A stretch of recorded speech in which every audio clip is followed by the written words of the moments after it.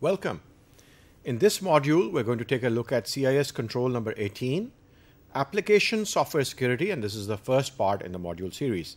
For application software security, this is a very, very important area, application software security, and unfortunately, this is one of the areas which is not only very complicated because software is developed and it's code, it's the intellectual property of a programmer, and it's harder to secure uh, software because it's not like a router or a switch or a firewall or a server which is uh, which has which has a fixed configuration let's say on windows server 2012 r2 or it's a cisco server or a cisco switch and we know exactly how to harden it.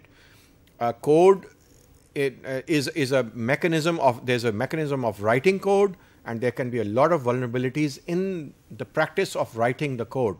And it's just like handwriting that every user has a unique way of handwriting and in order to secure the programming language or the code of the software application, it's uh, much more difficult to do and it's a complete process. And let's take further detail.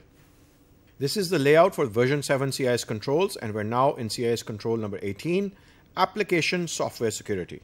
And these are the mechanisms we will use secure coding standards, education plans and training plans, code analyst systems for code reviews, and web application firewalls, for example, or WAF systems. Control 18.1. Now, Control 18.1 tells us establish secure coding practices. Now, this is very important because when we are trying to secure the application software security or trying to implement application software security, we first need to establish the secure coding practice or the secure coding standard.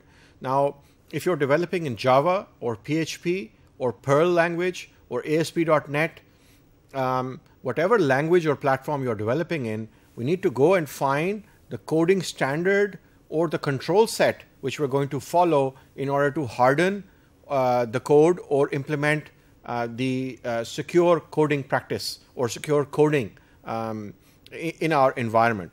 So to establish secure coding practices, we need, we need to establish secure coding practices appropriate to the programming language and development environment being used. So we need to pick up a control set and for example, the Software Engineering Institute, SEI of Carnegie Mellon Institute, um, they have a lot of control sets, a lot of great control sets for Java and C++ and uh, C language and for example, Perl. And they, they have these control sets for secure coding practices all sitting there and with examples of insecure code and secure code and how to secure the code properly. So we need to go and find the control set and that would form the coding practice or the coding standard which we're going to which we're going to follow. And the particular challenges that we were mentioning that this code has been written by a person, by a human being, and it's not like a Windows Server 2012 machine on which we need to go and harden the machine. That's very easy to do, or configuring a router, hardening a router is much easier but uh, when we're trying to secure the code, it's much more difficult.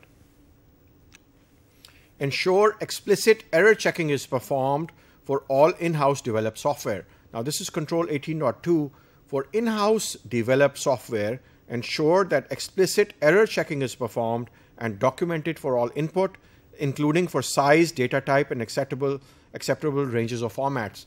And the reason for this is that this becomes the doorway for SQL injection attacks or other types of attacks when you have not done the uh, proper explicit error checking um, for all input, uh, including, as we mentioned, for size, data type, acceptable ranges, and formats. 18.3 Verify that acquired software is still supported.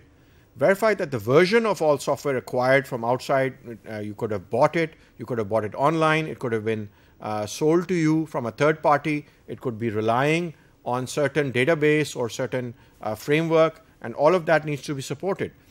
Uh, verify that the version of all software acquired from outside your organization is still supported by the developer or appropriately hardened based on developer security recommendations. So that's all very important. And sometimes what happens is that a website, for example, has been developed uh, three years ago, and once you run a pen test, uh, we're still looking for the developer who developed the website, and you cannot find the uh, developer. and the developer is supposed to fix the vulnerabilities which have been identified in the pen test.